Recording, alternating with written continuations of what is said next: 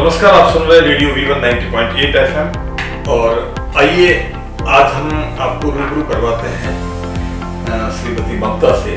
सबसे पहले तो ममता जी आपका हमारे स्टूडियो में स्वागत है। बहुत बहुत धन्यवाद सर। और ममता का तारुफ मैं आपसे करवाऊँ। ये वो महिला है जिसने अपने ज़िंदगी में बहुत ही कठिन परिश्रम करके और ज़िंदगी में एक लड़ाई लड़के और अपना एक नया मुकाम हासिल किया है। ममता जी मैं जब आपके बारे में कुछ बात बताऊँ, इससे पूर्व मैं आपको आपसे ही ये जानना चाहता था कि कोई महिला किस तरह से अपने ज़िंदगी में संघर्ष करके और एक अलग मुकाम पर पहुँचती है और उन तमाम परिस्थितियों से लड़ती है। उससे पहले आपकी इस बात को स्पष्ट करने के लिए दो पंक्ति है कि बस्ती बसना खेल नहीं है, बसते बसते बस्ती है। और जो उजड़े और फिर न बसे दिल वो पुरानी बस्ती है।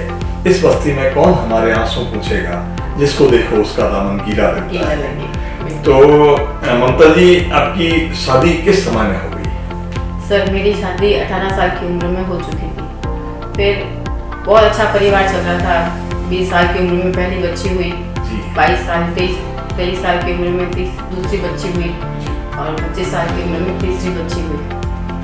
फिर बच्चों के लिए पहले सोचा कि लड़का लड़का करते तीन बेटियाँ हो गई फिर कुछ थी मैं मेरी बेटियों के साथ बहुत तो अच्छी लाइफ चल। तो जो समाज है वो तो ये भी पढ़ा लिखा समाज है लेकिन बहुत छोटे से जगह से आती हैं आप। और बच्चियाँ अपने जीवन में होना उसके बारे में क्या आपके परिवार से कभी ऐसी कोई अनबन या नहीं कोई नहीं रही? कोई नहीं कोई नहीं मेरा आपको कभी परिवार अपने मन आप तो खुद एक बेटी है बिल्कुल। तो खुद एक माँ पहले ऐसा लगता था ना कि एक लड़का हो जाए फिर जब नहीं हुआ तो मुझे तो मेरी बेटे में बहुत ही अच्छा लग रहा था मेरा परिवार बहुत अच्छा चल रहा था।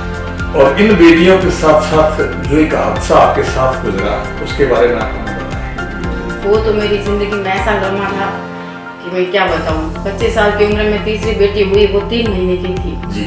जब मेरे हस्बैंड उसी दिन ऑफ़िस गए खाना वाना खा के। सब कुछ अच्छा चल रहा था। ऑफ़िस पहुँचने के बाद जस्ट दो ढाई बजे के करीब उनको अटैक आ गया साइलेंट अटैक कोई प्रॉब्लम नहीं थी। लेकिन उसमें मेरे को एकदम बिल्कुल मेरे को हिला दिया। और मैंने सोचा बस मेरी लाइफ खत्म हो चुकी। लेकिन मुझे मेरी बेटियाँ थी तो मुझे मेरा लाइफ मेरी बेटियों के लिए कुछ करना था। तो अगर- साल की एकदम युवा अवस्था में एक किसी महिला का अपने पति को खोना और उसके बाद में तीन बच्चियाँ जो अपने समाज में बच्चियों को तो बोझ गिना जाता है बच्चियों के हाँ मुश्किल था। बहुत ही और आपने भी अपने परिवार में ऐसा देखा है। फिर आपने इस संघर्ष को कैसे आगे चलाया? मैंने मेरी बेटियों को देख के सीखा मैं जो मेरे साथ हुआ मेरी बेटियों के साथ ना इसलिए मैंने मेरी बेटियों के लिए जीना चाहा और इतने खुश मिजाज से रहती हूँ कि मैंने कभी वो पिछली ज़िंदगी अब मैं याद भी नहीं करती। क्योंकि वो जो छूट गया वो मेरा नहीं। अब मुझे मेरी बेटियों के लिए मेरे खुद के लिए बच्चों के लिए इस टाइम लेना है। और उनको अच्छा पढ़ा लिखा के उनके पाँव पे खड़ी कर दूँ बस मेरा तो यही वो जो आपके हस्बैंड जिन्होंने सरकारी नौकरी की और उस नौकरी को आपने सरकार की उस अनुकंपात्मक नियुक्ति के अंदर हाँ। आपने नियुक्ति पाई मैंने तो वो जो संघर्ष रहा आपका क्या सरकार से और परिवार से और समाज से आपको कुछ सहयोग मिला? बिल्कुल। जी। हम्म, मेरा परिवार सपोर्ट में तो था ही। जी। लेकिन उनको ये पता नहीं था कि मैं कर पाऊँगी या नहीं कर पाऊँगी। क्योंकि मैं बिल्कुल गृहिणी थी कभी घर से निकली नहीं। तो मुझे कोई आइडिया नहीं था कि मैं बाहर जाके किसी से बात भी कर पाऊँगी या नहीं। मैं फ़र्स्ट टाइम जब मैंने ऑफ़िस ज्वाइन किया तो मैंने घूंघट में ज्वाइन किया। और सेकंड टाइम फिर धीरे धीरे धीरे धीरे मैंने लोगों से बात करना सीखा।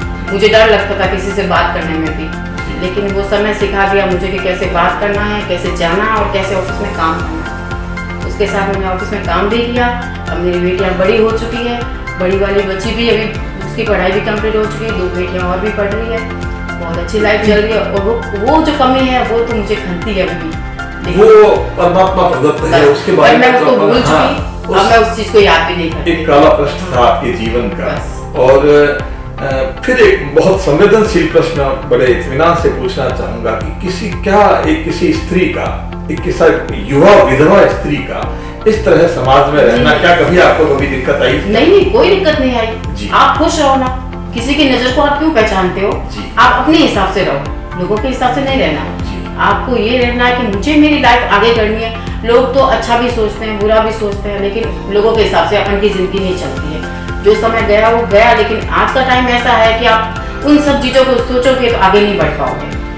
नहीं लेकिन किसी युवा महिला के इस वैधव्य को वहन करना उसको लेकर के चलना आपकी तो एजुकेशनल क्वालिफिकेशन भी जब आपने कहा मैंने बाद में हाँ। मेरी ट्वेल्थ तक ही हो गई थी पढ़ाई बाकी बी एम ए जो मैंने भी सोचा मैं आगे पढ़ाई करूँ लेकिन परिवार है गृहस्थी है बच्चे हैं उनके चक्कर में फिर पढ़ाई इतनी ही हो पाती है लेकिन फिर भी मैं अभी तक हिम्मत नहीं हारी हूँ। लास्ट में मैंने एग्ज़ाम दिया अभी दो महीने मैंने पहले एग्ज़ाम दिया लेकिन हो कोई नहीं, आगे ट्राई करूँगी और छोड़ूँगी नहीं मैं। ऐसे थोड़ी दूर जाना था।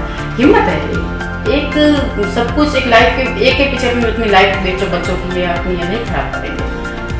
भगवान ने अपन को जब ज़िंदगी दी है, ब्राह्मण में दी है तो और भी ब्राह्मण कुल की बात तो हमारा रेडियो नहीं कर पाएगा। अच्छा, अच्छा, अच्छा, लेकिन लेकिन- ब्राह्मण होना किसी भी कुल से हाँ, अपन यदि हाँ। अपन रहते हैं लेकिन किसी भी स्त्री का हाँ। इस तरह बोल्ड होना और मैं चाहता हूँ तो रखनी है हाँ, और- आज हमारे समाज में परमात्मा नहीं करे इस तरह की कोई भी हाँ हाँ, घटना किसी को सहन करना पड़े या किसी के ऊपर ऐसी परिस्थिति आवे लेकिन आप समय। आज इस समय को हाँ जिस साहस से जिस बोल्डनेस से आपने सहन किया आज हमारे आप स्टूडियो में हो और बड़ी बोल्ड तरीके से आम आदमी को एक माइक फियर होता है। इस तरह का आपने शिक्षा विभाग में एज ए क्लरिकल में ज्वाइन किया है और आप अपना काम अपनी सेवाएँ दे रही है।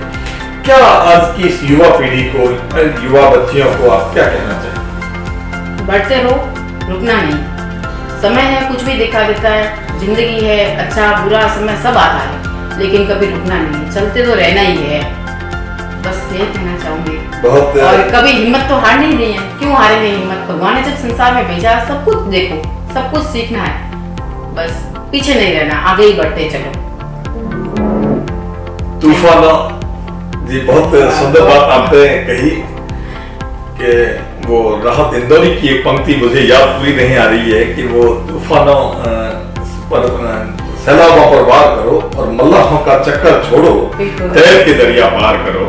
आपने उस जज्बे को लिया और इन तमाम उन युवाओं के लिए उन महिलाओं के लिए जो कभी भी किसी ऐसी विपरीत परिस्थिति से गुजरती है उसके लिए निश्चित रूप से हमारी जो ममता जी हैं वो एक एक प्रतीक के रूप में है। आप हमारी स्टूडियो में पधारी एक बार फिर से आपका धन्यवाद बहुत बहुत धन्यवाद सर आपका